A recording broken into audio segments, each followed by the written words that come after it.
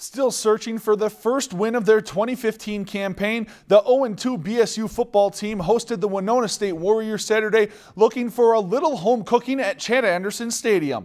Tied at three in the third, Winona's Jack Nelson finds Alan May on the bubble screen, and May does the rest, finding the end zone for the game's first touchdown.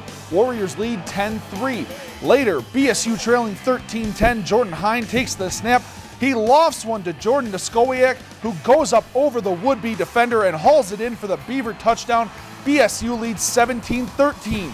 Same score, just over six left in the third. Winona's Paul Preston takes the handoff, bounces outside, and finds the end zone for the go-ahead score.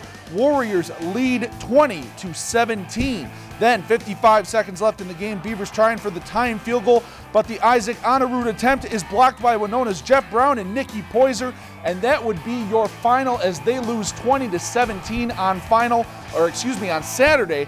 Here is head coach Jeff Tesch and running back Tahi Nomain after the game.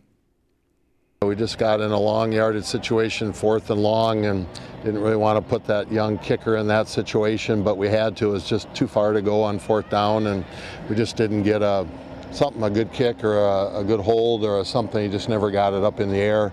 Uh, man, it was a tough loss to swallow. I mean, we worked so hard to get to that point, and for the game to end on a block field goal, it was just real hard.